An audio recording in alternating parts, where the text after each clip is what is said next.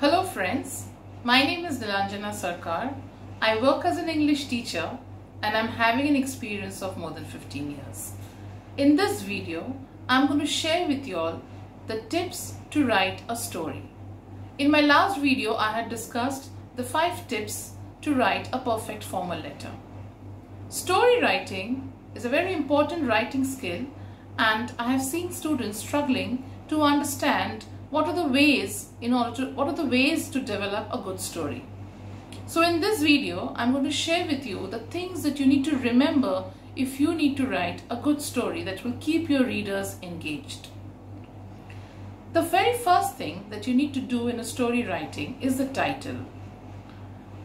Because without the title, the story doesn't make any sense. So first of all, remember to give a very eye-catchy and attractive title. The second thing you need to remember is the setting. Now what is the meaning of setting? Setting means the background of the story or the place where the story takes place. If you do not have a setting, the story may sound very abrupt. So make sure when you start the story, give a perfect setting, give a background, describe the setting or describe the time period where the story takes place and then move ahead. Next, what you need to remember is your characterization. Now, characterization is again very important. Characterization are of two kinds, primary and secondary characters. Also, do not overcrowd your story with a lot of characters because that can make the reader a little confused. When you describe your characters, make sure the descriptions are very vivid and colorful.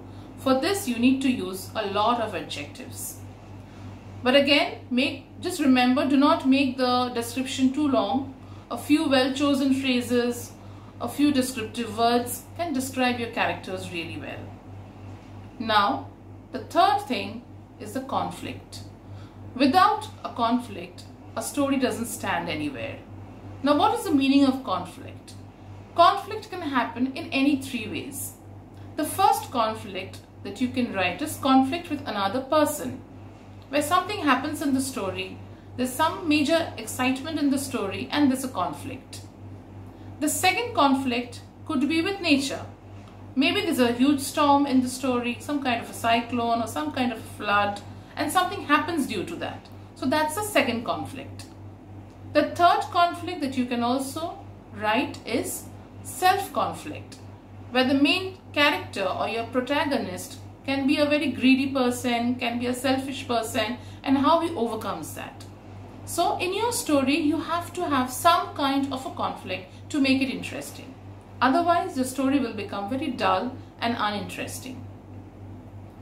The last thing is solution after the conflict, there has to be a solution in your story.